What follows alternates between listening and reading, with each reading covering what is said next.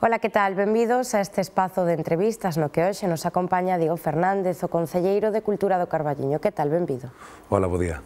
Bueno, tendes en Carballiño un verano espectacular a nivel de actividades culturais. Fálanos un pouco de como vai ser este mes de xullo ou esta segunda quincena que nos queda por diante. Bueno, mm, nos primeiros días de xullo xa podemos ter eh, bastantes actividades culturais, entre destacar pois, o teatro aficionado que ten moitísima presencia no Carballiño.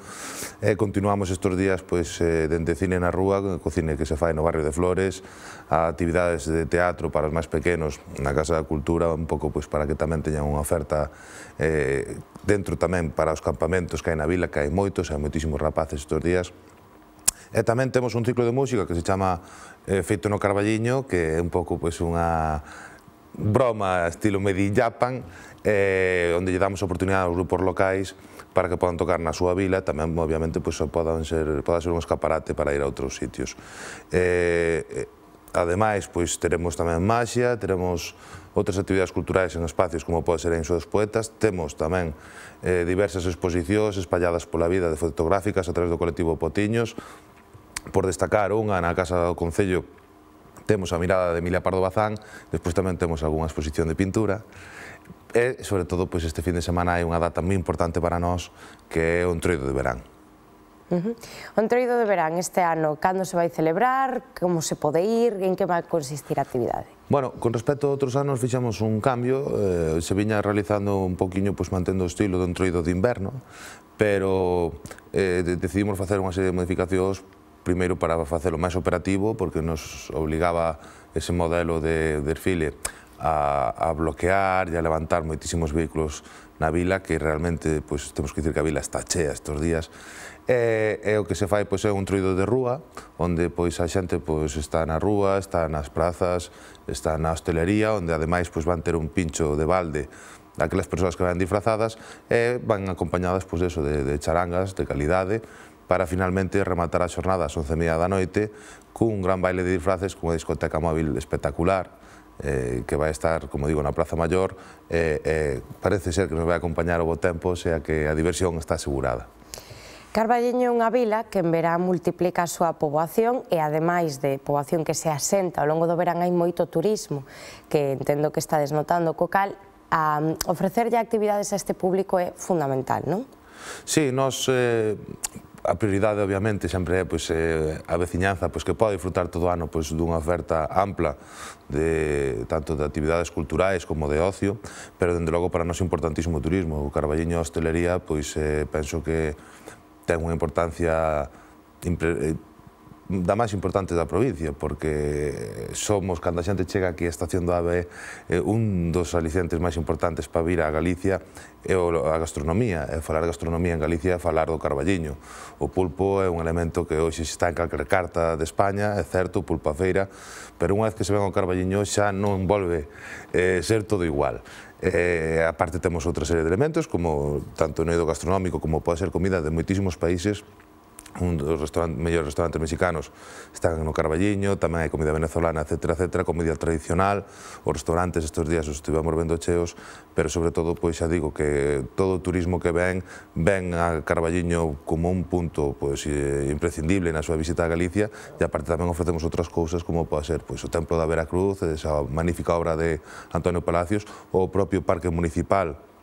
que ten 33 hectáreas eh, que se pode pois, eh, eh, disfrutar eh, nunha estancia corta no Carballiño paseando e, eh, e dende logo pois, as actividades culturais complementan todo isto e son un aliciente enorme para que a xente veña e sobre todo se engancha o Carballiño. Vemos que moitísima xente que ve os últimos anos volve vir ao Carballiño, é certo que hai moita vida, moita actividade, a xente chama a xente, pero sobre todo tamén tens que ofrecer calidade, tanto no que é a programación como tamén pois, no servicio de hostelería que, que dende logo pois, é sempre un éxito asegurado. Ademais, Carballiño está nun enclave, a propia comarca tamén é moi bonita, hai moito que ver, e o viño tamén ten un papel importante, non? Sí, nós entendemos o Carballiño moitas veces como a, o que é a comarca, non? Pois, de, por dicir algo, temos aí o Mosteiro do Seira, temos o Castro de San Ciurao, Temos a zona do Ribeiro, que tamén pois, eh, son veciños e, e con quen pois, eh, traballamos conxuntamente en moitos ámbitos, e e, a propia de, denominación de origen Ribeiro pois, tamén está no Concello do Carballiño, onde temos pois, tres parroquias que, que están afectadas e para nós pois, o sentimos como propio. O Pan de Cea eh, tamén e, e o sentimos, e, e xa digo, para nós é moi enriquecedor poder traballar en rede, poder ofertar eh, produtos turísticos singulares que, que dende logo, pois, eh, que, que xa de por si sí teñen valor, pero máis de, tamén na situación eh, xeográfica na que estamos, onde estamos no corazón de Galicia, dentro do Carballeño, pois unha persona que veña se pode mover para, para calquer punto pois, dunha forma cómoda e áxil. Hoxe, pois, tanto a estrada a Lugo, a Pontevedra, a Vigo, a Santiago, a Coruña, a Ourense, a Madrid, pois está a nada do, do, do Carballiño, polo tanto, pois, mellor situación imposible, e xa digo, é, é cunha oferta de calidade e os que queiran ir no Carballiño teñen que ter en conta tamén que hai que pensalo con tempo, non? que sole haber eh, bastante ocupación. Sí, a verdade é que estes Este, hai un, dende hai un mes prácticamente no Carballiño se está vivindo un cheo moitos días eh, na, na hostelería. Eh, vemos moi bo ambiente. O Carballiño como dicía antes a, se ofrece moi bo produto se traballa moito co comercio lo, local e eu penso tamén que é un elemento diferenciador que nos dá pois, para que, que a, a hostelería pois, poda ter ese repunte. Eh, e dende logo pois, eh, a dicirle a xente que o faga con tempo para que ninguén se leve sorpresas eh, e sobre todo que non perda de vir o Carballiño porque como digo engancha, o Carballiño, unha vez que proba sobre o pulpo tamén a feira, que, que é un arte, eh, ver a un pulpeiro traballar, eh, os tempos de cocción hai que manexalos ben, o pulpo ten que ser tamén pois, dunha enorme calidade, eh, é iso que nos fai singulares, non? Uh -huh.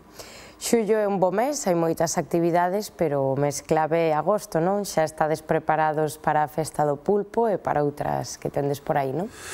Sí, efectivamente, este mes remata, este mes de xullo remata que antes se me pasou co rally eh, o Carballiño Pazo Tizón, que tamén pois, atrae amantes do motor de toda España. Ese mes de agosto para nós é importantísimo, esa, esa primeira quincena, porque o ser o segundo domingo de agosto a Festa do Pulpo, pois para nós eh, é clave para a economía da vila, inda que fomos quen de repartir durante o resto do verán pois a, as visitas, o turismo que antes se concentraba aí, e incluso agora que ha chegado do AVE durante todo o ano. Pero para nós é que a, o pulpo, a festa do pulpo é o que nos permite pois, poder chegar a todo o mundo. Ten esa festa, é unha festa de carácter internacional, unha festa que forma parte dese calendario deses turistas que, que miran eh, e que poden facer no verán, e sempre a Festa do Pulpo pois está aí, eso que fai que moita xente pois veña e nos conozca, pero como digo, tamén está o éxito de que a xente repita. Que, pa, que hai na, na, nesa quincena da Festa do Pulpo? Pois é unha serie de actividades que son grandes concertos, que son pois, o Festival de Folclore,